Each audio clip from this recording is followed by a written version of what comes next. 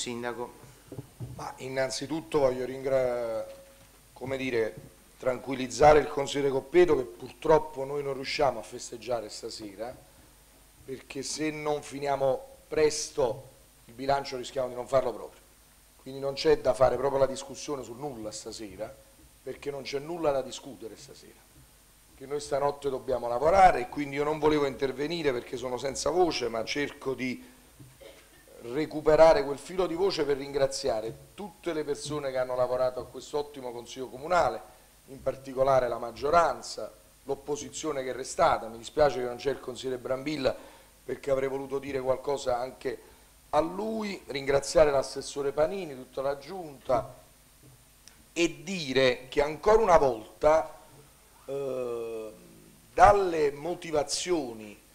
della Corte dei Conti che tempestivamente ci sono state notificate a 24 ore del bilancio, con una tempistica, devo dire, eccellente, viene riconosciuta la correttezza complessiva dell'operato del Comune di Napoli. Tant'è che l'unico debito che ci viene piombato sulla testa è quello del CR8.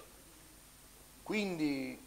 caro Assessore Panini, si tratta di 85 milioni, quindi esattamente la somma del CR8.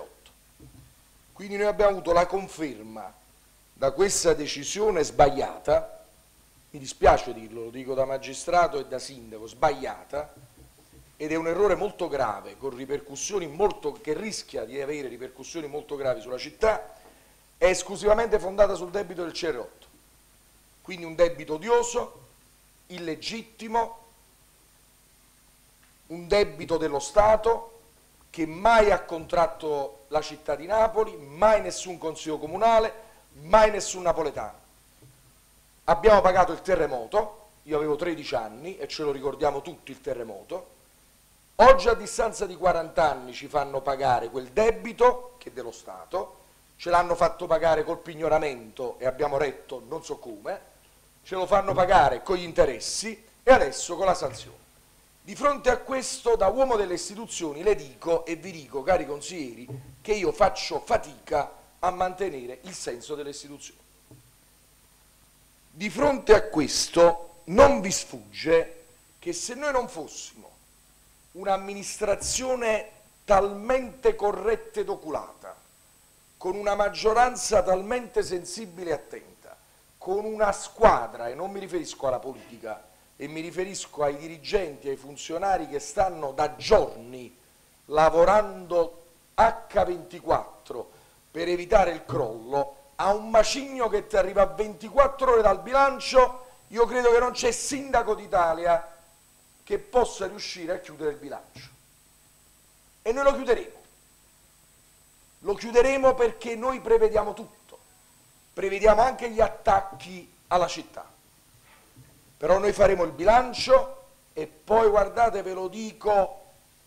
lo farò senza voce, lo farò senza forze, lo farò lavorando 25 ore al giorno, si innalzerà da questa città una mobilitazione giuridica, istituzionale, politica e popolare che mai ha avuto visione nel Paese e nella storia repubblicana del nostro Paese, perché io non lo sopporto questo debito. Lei mi chiede di ANM, caro consigliere. Io se non vado adesso da qua, il Consiglio Comunale in, in giunta, io non so nemmeno se noi il bilancio lo riusciamo a fare. Quindi questa è la notizia. Assolutamente, ma lo chiede qualcuno. Qua ognuno si alza la mattina e chiede qualcosa. Io sono un uomo invece che lavora. Invece di chiedere, avrei preferito che il consigliere che ha chiesto, invece di rimanere a camminare nei corridoi del Consiglio Comunale, stava insieme a noi, maggioranza, opposizione, sindaci, assessori, se non mi avete visto per qualche ora è che stavo al quarto piano con il ragioniere e il direttore generale, perché chi vi parla non si fermerà un secondo fin quando non approverà il bilancio, cercando di non fare nemmeno un grammo di macelleria sociale, nonostante un ordine costituito indegno che vuol far pagare a questa città colpe che non ha, anzi proprio a questa amministrazione, a questa maggioranza che i commissariamenti, l'emergenza rifiuti, le cricche, il sistema le ha buttati via. E mi dispiace che manca il consigliere Brambilla, perché io sono il primo che mi auguro che chi si presenta come nuovo non inizi col reiterare i comportamenti di chi ha prodotto tutte queste scelleratezze. Noi potremmo sbagliare, potremmo fare errori, ma stiamo veramente tenendo questa città, non so come, perché quando stamattina mi sono letto le motivazioni della Corte dei Conti a 24 ore dal bilancio, quello che mi ha detto uno dei più alti funzionari del nostro comune ha detto beh, questo ha solo un obiettivo, provocare lo scioglimento del Consiglio Comunale di Napoli. E noi, mi dispiace dirlo, ma questa soddisfazione non gliela daremo, perché io per primo, e sono convinto anche noi, più alzano l'attacco, più alzano l'ingiustizia, più le energie, anche quando non ce l'abbiamo, come se fosse una magia, iniziano a infiammare i nostri cuori, le nostre menti e le nostre gambe. Quindi noi non solo non, non molleremo, vinceremo questa battaglia e sfideremo tutto il Paese a venire su questa battaglia, perché non è la battaglia di Luigi De Magistris, della giunta, di questa maggioranza, è la battaglia degli abitanti della nostra città che non possono pagare sulla loro pelle un'ingiustizia così grande. E vediamo chi sta con noi e chi si tira fuori.